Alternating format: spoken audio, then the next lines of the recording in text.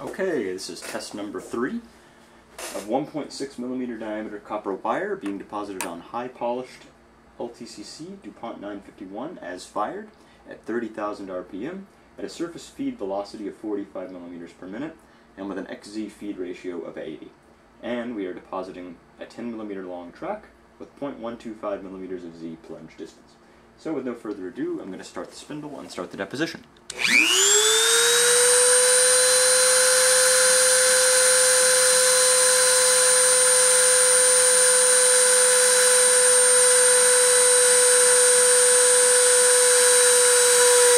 Contact.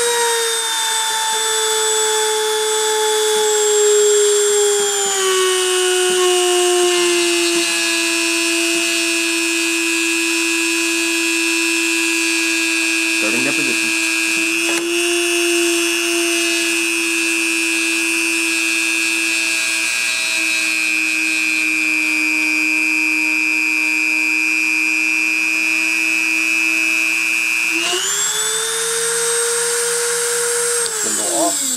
無理よ。